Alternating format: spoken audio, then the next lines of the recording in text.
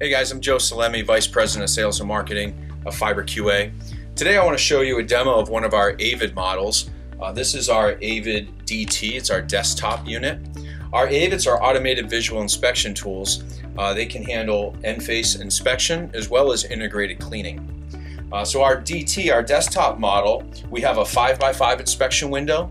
So uh, with the help of a fixture uh, that will go on the end of this, um, whatever connectors you can get into this 5x5 inspection area is what we can inspect and clean.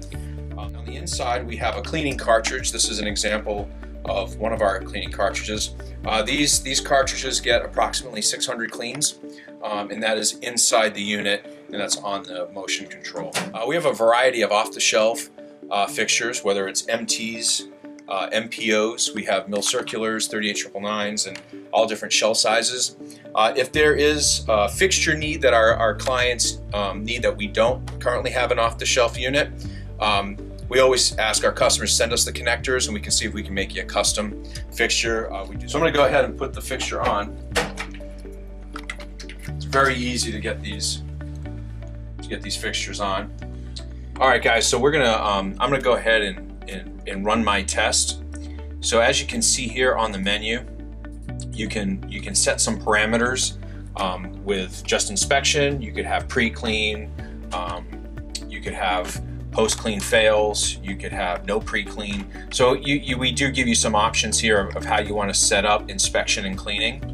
Um, I'm going to run this test with just inspection only.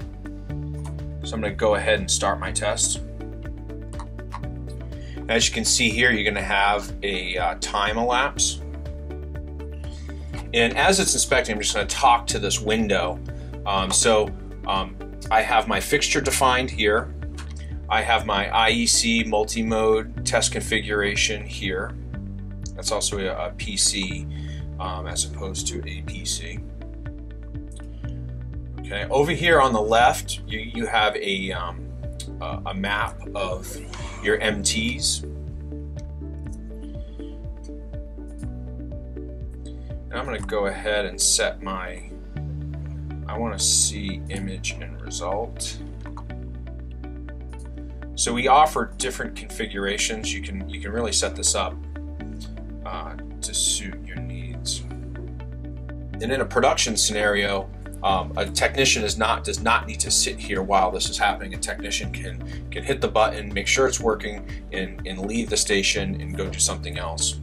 If you click on one of the fibers, uh, you can see all the different defects. You can see um, all the rules, the rules that were passed, the rules that were failed. Uh, you can see why this was a fail. You can you can also see the image. Uh, and this is a 400x optic that we're using. And that's it, five minutes and 43 seconds, uh, 96 fibers.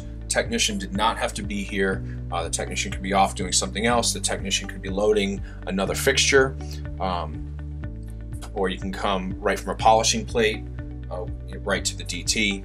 Uh, there's a lot of different things we can do with these with these machines.